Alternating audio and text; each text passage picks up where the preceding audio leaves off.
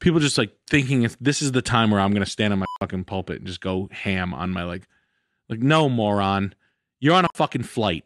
Go sit down and go to where you were going, and that's it. Like this fucking bitch has nothing to do with your ideology or anything. Like just do your fucking thing and shut the fuck up. I'm a car salesman. Oh yeah, he's fucking car. You guys are crazy. You're not gonna catch me. Then don't buy. Don't buy one. But don't come in here and tell me you're not going to buy one. Don't drive one and tell me you're not going to buy. He drives down to the Mercedes dealership to tell you he's not going to buy one.